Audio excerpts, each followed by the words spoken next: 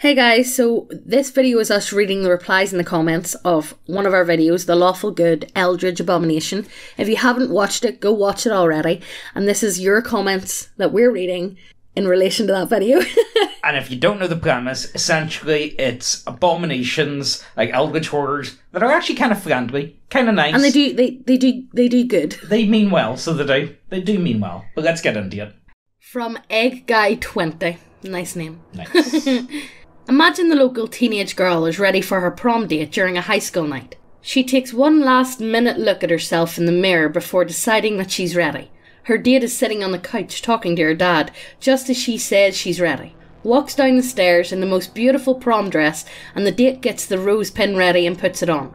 Before the both of them can walk out the door, the lights go off. A strange light emits from the kitchen as quiet gibberish starts to get louder and louder. The young man is trying to reach for the doorknob, but his vision becomes more and more confusing as the off world figure starts to get closer. The prom date looks out the corner of his eye and tries to make out what he sees, but the figure's appearance keeps changing every time he tries to make out what it's wearing. He starts getting nervous as it's reaching out for him, as he tries to grip the doorknob, as his head starts to hurt, as his surroundings starts changing colour and form. He can't bring himself to cry because he can only let out a squeak.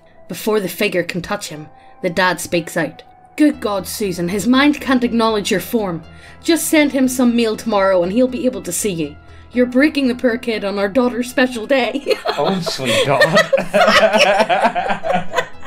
by Joel Gone. I'm kneeling by my bed, praying like I do every night, but this night I'm praying for my daughter, who currently lies comatose and slowly dying in a hospital bed, while my wife watches over her. Our son and youngest daughter are sleeping soundly down the hall. Suddenly, a sickening light fills the room from behind me, and I feel a presence wash over me with the potency of a miasma. The smell that accompanies it is maddeningly familiar, but sickeningly sweet. I vomit profusely into the sheets, emptying the meagre contents of my stress limited dinner of hospital cafe food onto the bedspread. Every instinct in my body tells me not to turn around, while my curiosity begs me to do so. When I finally turn, a cry of horror, shock, and despair forces itself from between my cracked lips. I glimpse a body covered in a multitude of eyes, covered in a stalk like body that's emanating the unlight that now fills the room. A horde of waving, twitching tendrils, dripping with revolting, oily mucus from a barrier around the creature's base, and a vertical slit, lined with what could only vaguely be described as teeth, opens, revealing a tongue compromised of leaf like appendages that wave and flutter around as this thing makes a sound that leaves me shaking, frozen in stark terror. Barely, my fractured mind pieces together a few English words in the terrible, horrific din. Be not afraid. I bring you glad tidings. Your prayers have reached the Father. Your beloved daughter will awaken tomorrow. The doctors will find nothing wrong with her, and she will be cleared to leave the day after, with only one night of observation. The thing suddenly disappears, and I'm left alone, shuddering and crying like a child in a pool of my own sweat and vomit. That was really good. I really liked that. I Well, it really was a lot. It was a Yeah. lot nicer than any of the other ones. A lot of the other ones are kind of just like slightly helpful, whereas Yeah. this is more like a biblical angel type Yeah. of thing going on. From Anniebot 4573. I've never believed in monsters. Even when I was a child, I would laugh at horror movies, and even now, the thought of a stalker challenging me in an alleyway brings a smile to my face. what? What? hold up, hold up. But one day, everything changed, and monsters became real. Wait, is this one of those ones where you leap the leapest? Yes. Some call it the apocalypse, others call it the Eldritch invasion. But all I saw was creatures dreamt up in only the most ludicrous of drug fueled night terrors. At the sight of them, some screamed, some went insane, and some would even kill themselves on the spot. But only in the most extreme cases. Some people literally as cruel as humanly possible. Even take a liking to tormenting these new creatures because it's not like they're people. One day on my way home from work, I heard an unearthly scream, like a pig being slaughtered crossed with eerie child laughter, and I raced to intervene. I saw a gang of teenagers firing BB guns at a creature in a dress.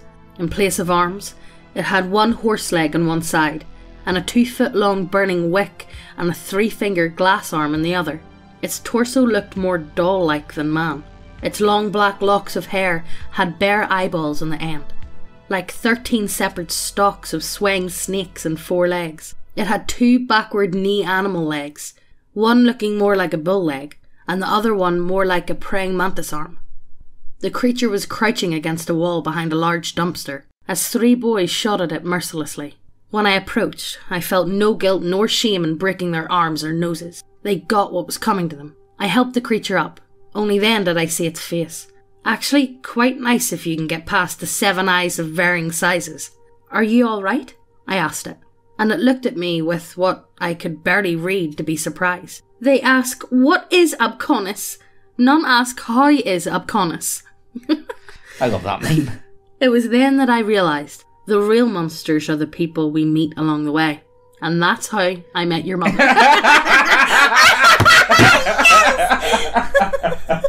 oh, that's quality. That's actually quite good. I like that. I like that. From comment section man. The wheels turning in my head told me to run, to get up and grab the chair to use as a weapon. In with a steel chair. Yeah. But I was frozen still. Before me stood a shambling mass of putrid, writhing, reddish purple worms and tendrils forming a human silhouette, like a shadow cast from standing near a light. And coaching ever near, I silently prayed to God who would never return an answer.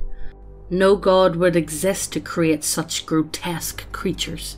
It smelled like a pot of stew left in an abandoned corner of a building, but somehow a fishy smell was coming through as well.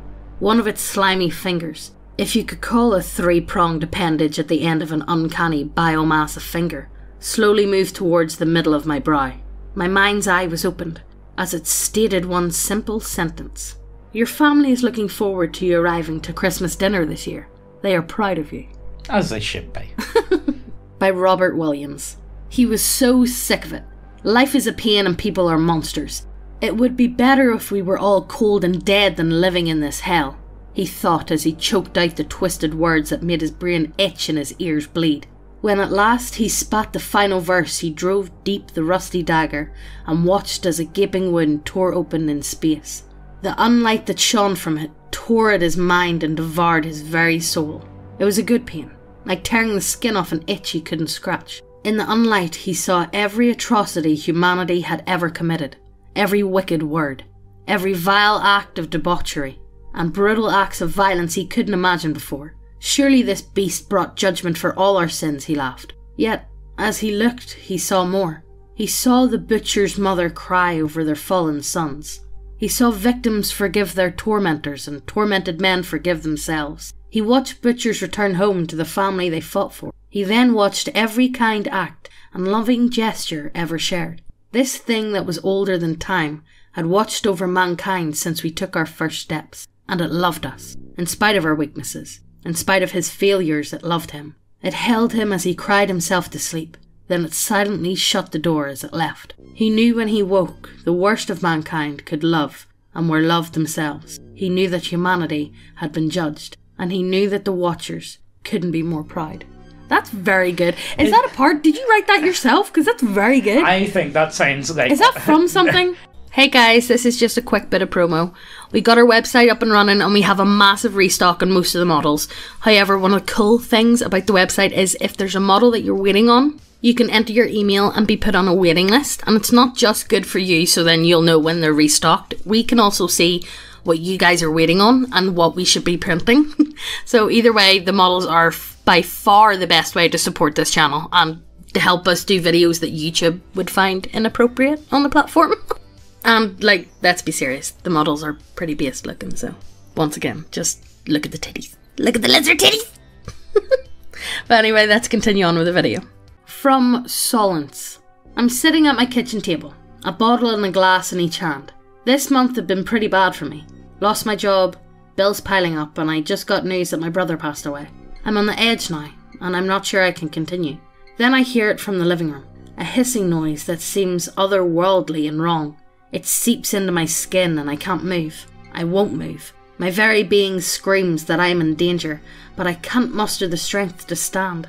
The hissing is slowly becoming a low, gut wrenching groan that claws at my eardrums as it gets louder. It's here now, right on top of me. It leans in over me with a pressure that leaves me unable to breathe. I begin to sob, feeling true dread and fear for the first time in my adult life. As the tears stream down my face, I see what looks like a mangled human hand bend inward in a horribly unnatural way. It grabs the bottle and glass from my hands, and with a voice akin to madness itself, I hear, You shouldn't drink so much, Jason. It's bad for your health. Just like that, it's gone. And so was my booze. I don't think I'll ever drink again, but one thought still haunts me. How did it know my name? Thieving wee fuck. don't take my bouquet! Eh? By Dark CT. Another death in the family. Incredibly down. So much so the friends aren't even about for now. Over the last few days, a friggin' splitting headache. Oh boy, even better. Yesterday it's gotten even worse. I'm hearing whispers and random whistling, and I can't tell where from. This morning I wake up and there's eyes and mouths all over my bedroom ceiling. As I run and scream, slamming the door behind me, I hear the mouths whistling, and in unison, singing the words Always look on the bright side of life. as I flee. The terror. The terror. By Sakyun Arn. Probably butchering that, but okay. we'll work with it. okay, a few years back I was in my darkest hours. Lost my job and my flat. Couldn't do more. And I didn't have any money. I have no close relatives. So after a few weeks I had to stop the couch crash. Thankfully, it was during the spring. So my nights, while fucking horribly cold, uncomfortable and smelly, weren't that bad yet. I lived at my own place for a few months, trying to keep my dignity, but with the coming of fall and winter, the nights became colder and colder until I just couldn't find it in myself to sleep. My dreams were populated with hellish visions of ghoulish marine landscapes and night terror incarnate. I felt a horrible weight in my bust during those dreams, and the nocturne stench grew worse and worse. Night had fallen early, and despite my best efforts to clean myself at local fountains and university restrooms, a horrible smell kept following me. A smell like rotten, aging fish, a few times more rancid, and stuck to the throat. No one likes a dirty, smelly hobo, so I couldn't get any food, and the other homeless guys at the shelter were shady at best, absolutely fucking raving at worst. It sapped my will to go on. I knew the winter took lives. I kinda knew that I was too much of a wimp to survive. It led to a few dark days, and well, I took the decision to take my life. But I didn't want to suffer. I risked missing, which would be gruesome, or do it in front of others. I was considering suicide by freezing water, as I was walking on a bridge when I saw a glimpse of something, taking over my reflection. The malformed apparition, a crawling mass of moving algae and maggots, contorting an ever changing pattern of movement from its uncountable, emaciated appendages. Crooked, pale arms addressed me from the darkness of the water. Its smell was unbearable, but recognizable. I knew, just by looking at it, that the smell that stuck to me was it watching me, peering into our reality, and gazing into my soul, clinging on me. With seventeen obsidian eyes arranged in a crown, never closing, it looked at me, then, from the nothing it inhabited, took a subway sandwich, with one of its skeletal arms devoid of any articulation to make it emerge from the reflection. It elongated slowly, producing a gut wrenching noise of bone breaking. Its arm was still right and rigid like a pole when it came to my level. I was without any word, hesitating between just fleeing on the spot, vomiting on the ground, or accepting the offering. It just waited, and then put the sandwich gently on the railing, then the card. The arm then just slowly and disgustingly went back into the water to repeat this pattern, this time with a cookie. Its voice, a noisy collection of wet, fleshy noises, pained howling of despair, and water flowing became intelligible in the back of my mind. You have so much more to live for, Anon. It is not yet time to join me. You have such a good heart. Please don't let this time of hardship harden it. Then it dissipated. I think that I just fainted at this point, because I just remember waking up under the same bridge after a horrible nightmare, in a warm mound of algae and silky wild goose feathers. My sandwich still in its paper bag, warm to the touch. The card which contained a strange symbol that made my head hurt, and the cookie. I still have these nightmares, and the smell still follows me sometimes, and I still have really shitty days. But I don't ever consider suicide. I don't want to see it back. I don't think I'll ever be ready to die. I ain't having no Subway sandwich from Loch Ness Monster. I don't it's know. your man. It's it's the pedo guy Yeah. coming out of the lake I don't know. What, what would you guys do? Would you guys eat a Subway sandwich Which from a... from a algae monster. yeah. I'm like, no, thank you. it's a lovely offer. Uh, it's a very nice offer of you. Meatball marinara. Yeah, sorry, mate. It's going to be a no from me, okay? From tough eyes. I tumbled off a cliff, dropped in the dreamlands, and the fall was better than what was behind me. After what felt like months, I could finally end my nightmare and wake up to my own life again. Suddenly, a black wingspan swung down from above me, and bony onyx hands with a grip like a vice snatched onto my arms. I howled in pain as a flap above my head stopped my fall, and I was then flying securely in the clutches of this dark monstrosity. And then I saw its face, with the head having some horrible angular taper that made its chin the tip of a deformed triangle. A crude mockery of a human face looked down at me, with no eyes. Skin the shade of sooty coal came down from the forehead, completely smoothed over where the eyes should be. Its teeth had constant rictus, for this being had no lips. It clicked its tongue against its sharp predator maw and chitted. man! I, oh fuck. Don't go dropping off a bit these clips here. oh, go do it. Don't go dropping off about these cliffs here, eh? you die here and you die in your real world too. Very good. Very helpful. Very helpful. By Patrick Cisneros. It was a Saturday morning when it happened. I was out for a stroll in the local park to clear my head from the busy work week, minding my own business. Suddenly, the trees began to rot, and the grass conflagulated, while the smell of decay bashed me in the face, nearly knocking me out.